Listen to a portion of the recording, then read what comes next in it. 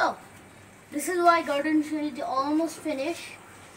We got a brand new fish tank. So, there's a filter, there's seven fish. We got a little bit of squirtle, two squirtles in there. We got, um, you know, some cabinets. Um, yeah. So this is our basically the deck area, but we still like it because, you know, you want to when you are tired, you just want to look at the fish tank like this, is, and it's also sheltered by so the storm can't kill these fishes, and uh, there's so that it doesn't get too hot for the fishes. And look, there's um, I think these are five goldies and two angel fishes. We got two bubblers.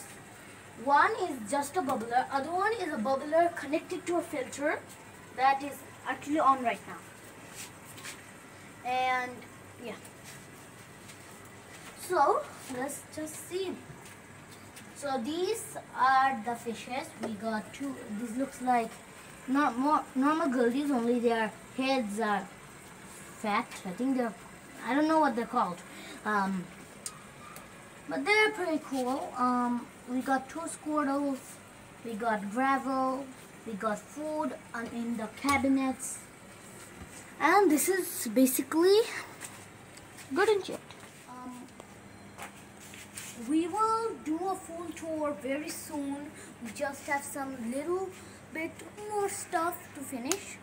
For now, it's just garden sheds, new fish tank.